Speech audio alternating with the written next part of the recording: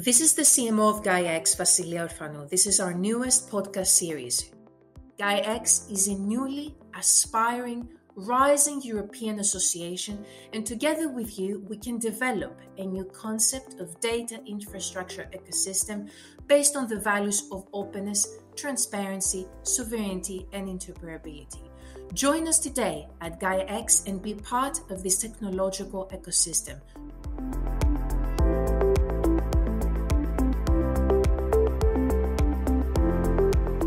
This is the uh, CEO Gaia X podcast series with uh, Francesco Bonfiglio. Francesco, good morning. How are you?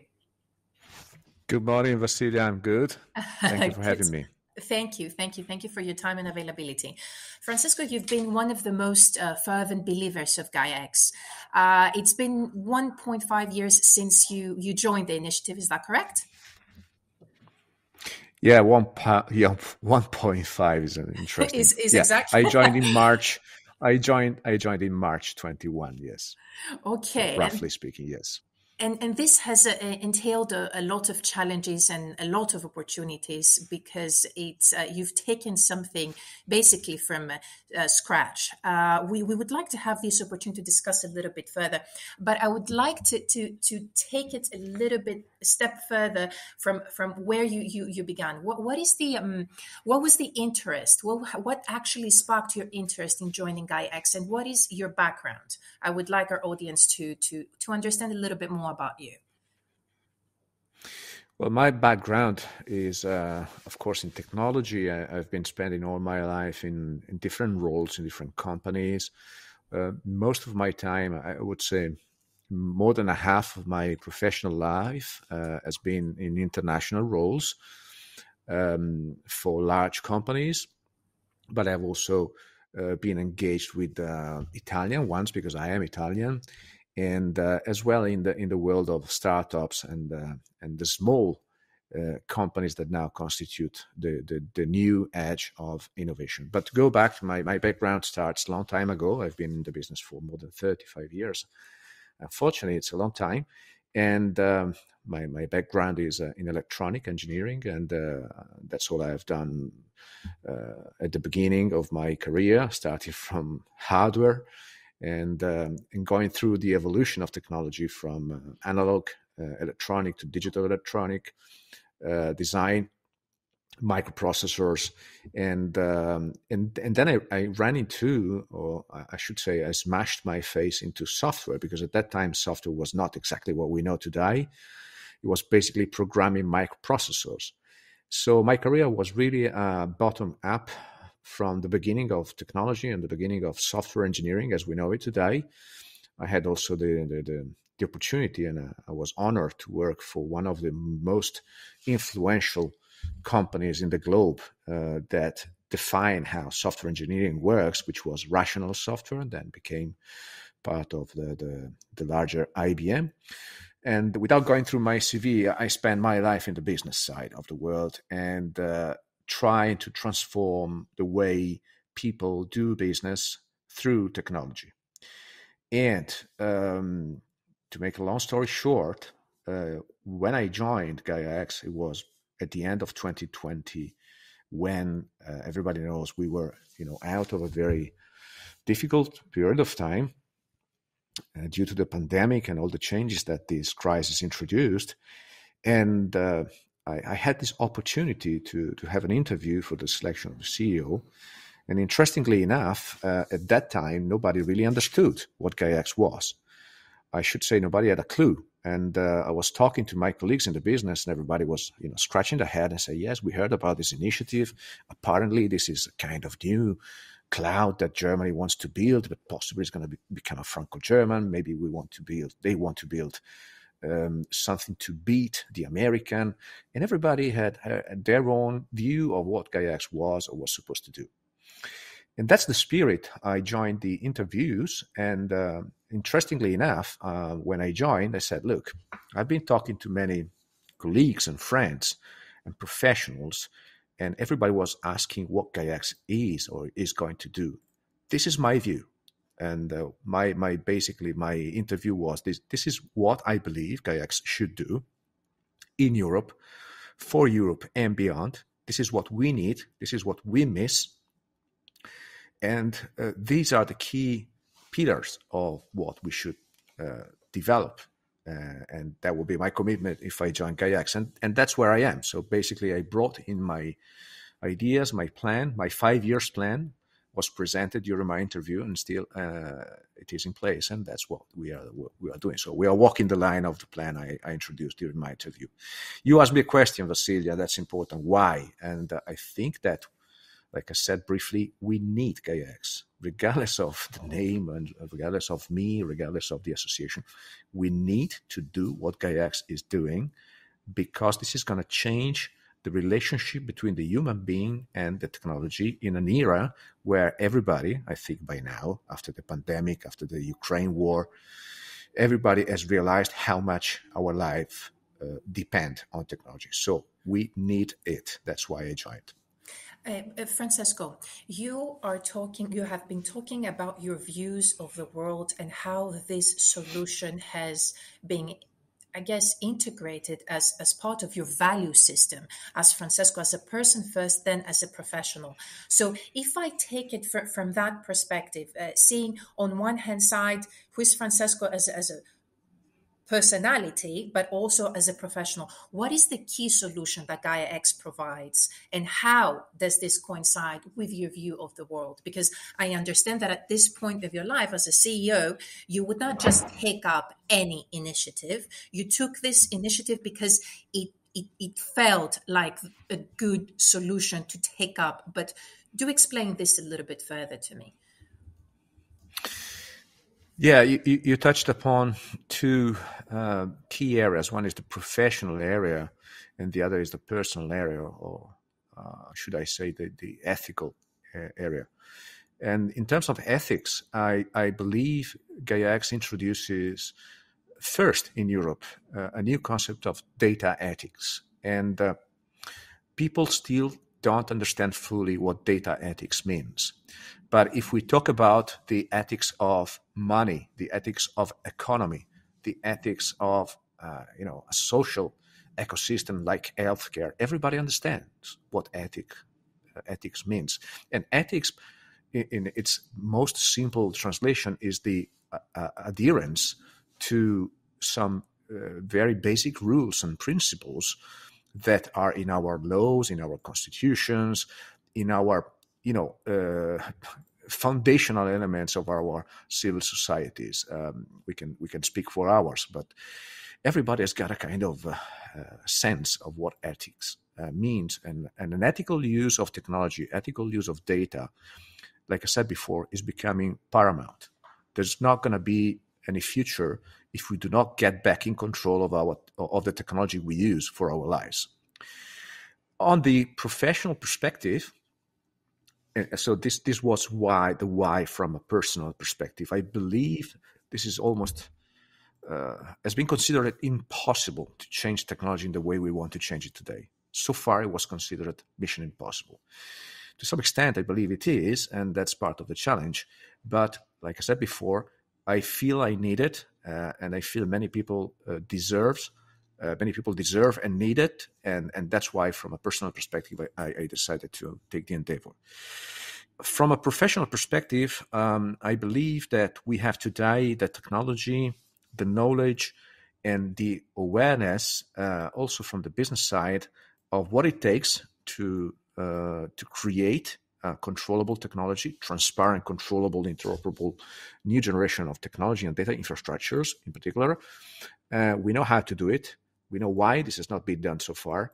And also from a European perspective, I believe we have also the, the pride to say that we can do it, despite all the people that believe that Europe cannot fill the gap accumulated with the United States or, or Asia, which is totally wrong because most of the technologies that nowadays are leading the market have been designed, invented, and patented uh, in Europe. So it's time to wake up from a pro- professional perspective, I think we deserve to show what Europe can do, like I said before, for Europe and beyond, because this is not just for Europe.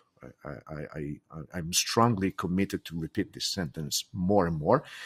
And from a personal perspective, uh, I feel that there's not going to be a future without controllable technologies, and I feel I need to make my part in, in, in this, even though it's a very challenging endeavor. Uh, Francesco, if you can explain Gaia X in three words and how is it different from other initiatives for the audience that is not so much aware of Gaia X, what would we tell them? Like, let's say that we're trying to explain Gaia X to a grandma. what do we say? Yeah. First of all, Gaia X is an association. It was born like a government uh, as a governmental project. So it was born as a project from Germany and France to build a new uh, data infrastructure to boost and protect their data economy. But then every country in Europe literally wanted to participate to the project. So uh, what we are today is, an international non-for-profit association. So GaiaX is a group of companies representing the world of users of technologies from any sector, from banking to energy to manufacturing, automotive, etc., and uh, providers of technologies so cloud service providers, telco, providers, etc. Why these people are uh, sitting together to build GaiaX, and I will explain what GaiaX is. They are sitting together because they realize, like I said before, that we need a new generation of data infrastructure.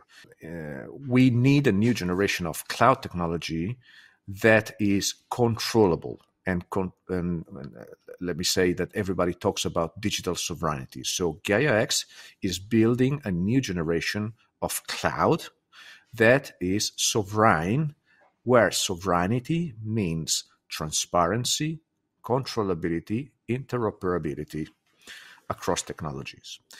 Uh, what does that mean? It, it means that where we where we put our data, where we put our services, is going to be no more uh, an infrastructure that is run by someone else using their rules, controlled by their people, uh, putting those data where they want, but it will be where we want those data to be put.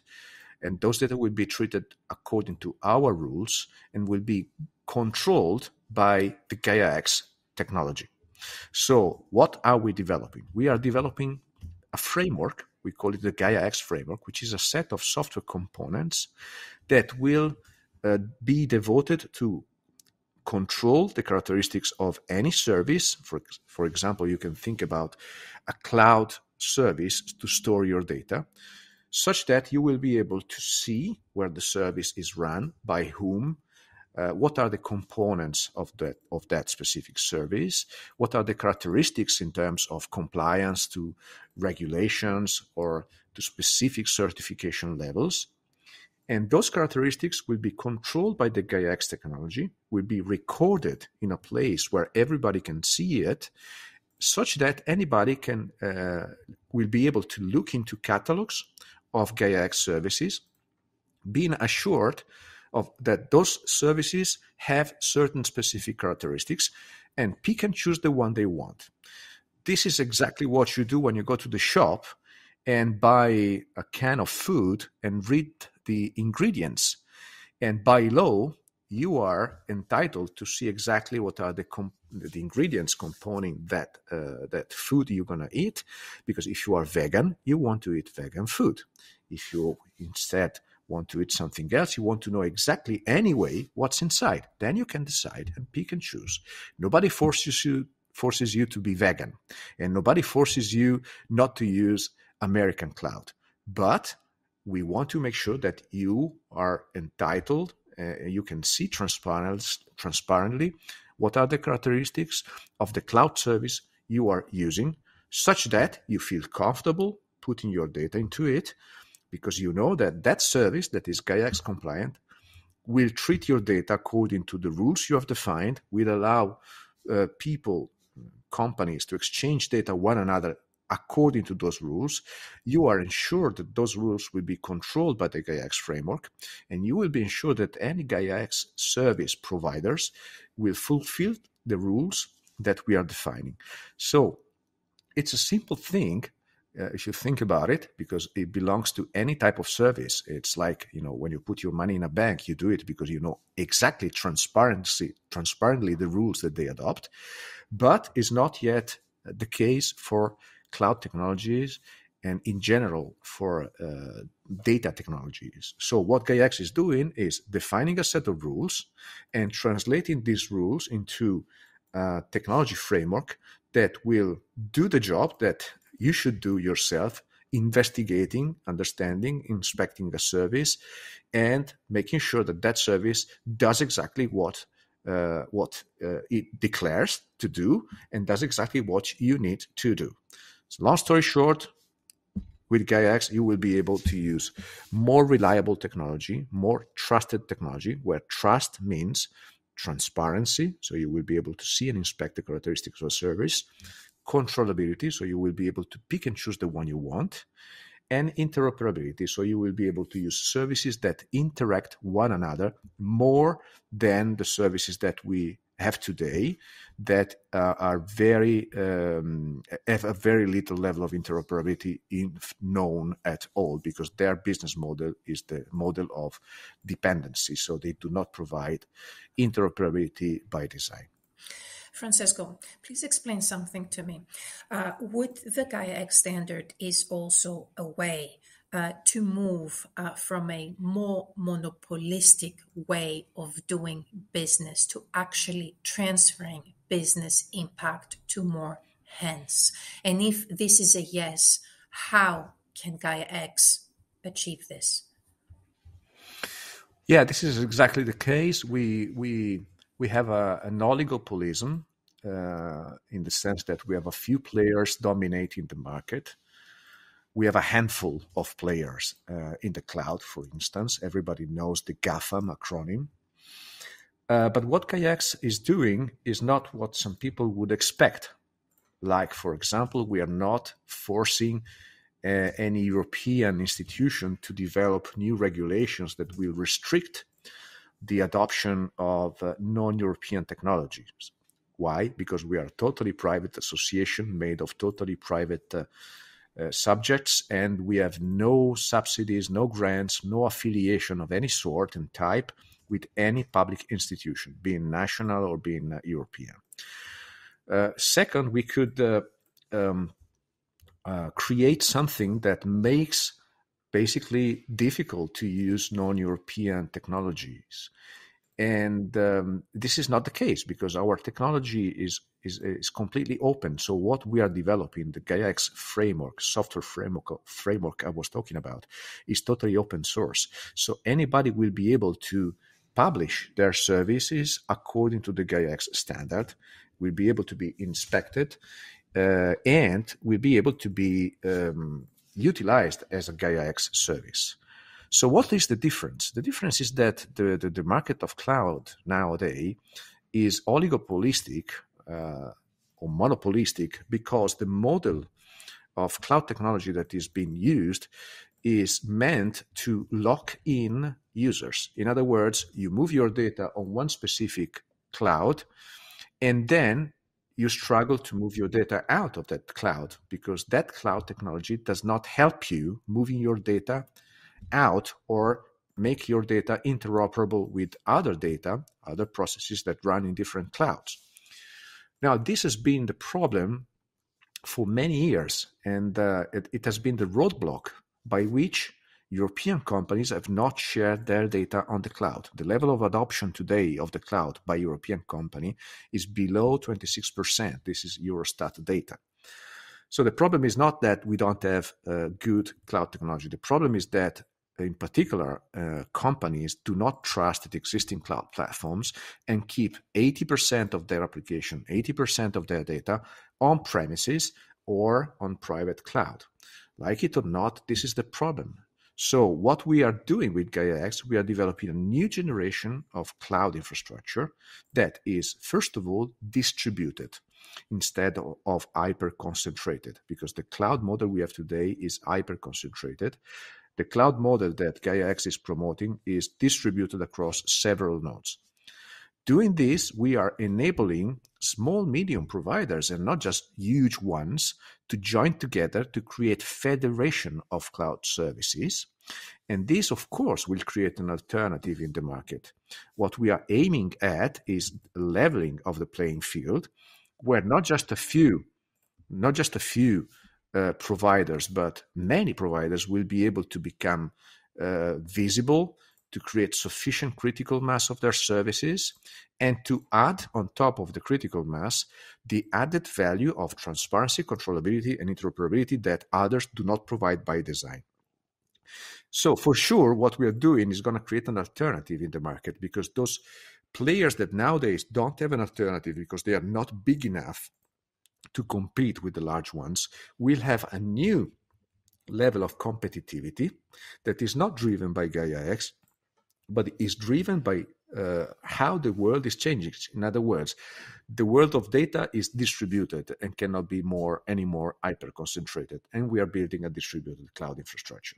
The world of cloud requires a new level of trust that the existing providers don't provide because they are providing uh, their own rules, and instead GaiaX is providing common rules that are being verified by the, the technology, and this is what the market wants. The combination of these two factors will enable those players that now are secondary, so not primary players, to become primary player and compete with the primary player. So this will reduce the monopolism or the oligopolism that is now dominating the market.